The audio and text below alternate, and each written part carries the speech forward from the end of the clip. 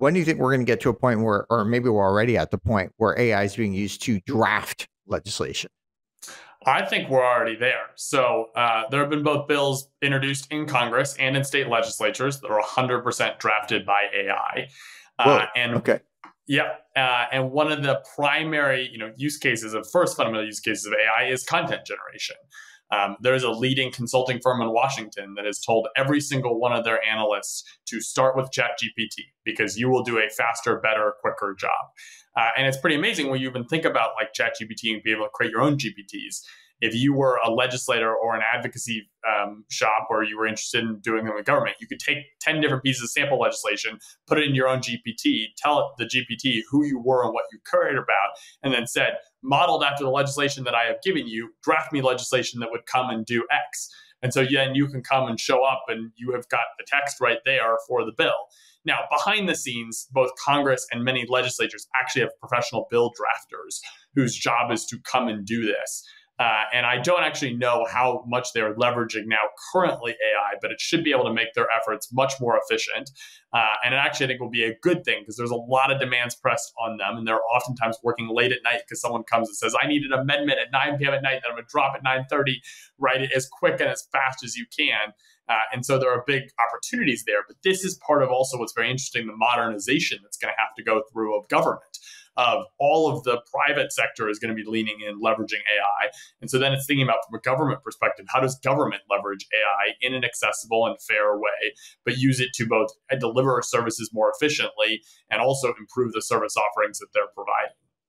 Now, this is World of DaaS. Um, so we talk about data and data businesses, and there are a lot of companies that sell data, and then there's a lot of companies who like build, like let's say, different analysis on top of data. Um, if you're advising a founder or a CEO, like how do you think about like the trade-offs of what they should be focusing on on those two?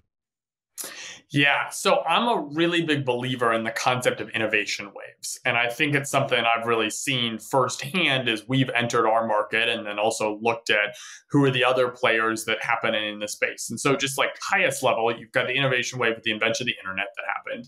Then there was the innovation wave with the invention of mobile apps that gave us Instagram and Uber and Airbnb and Pinterest and that whole generation of tech.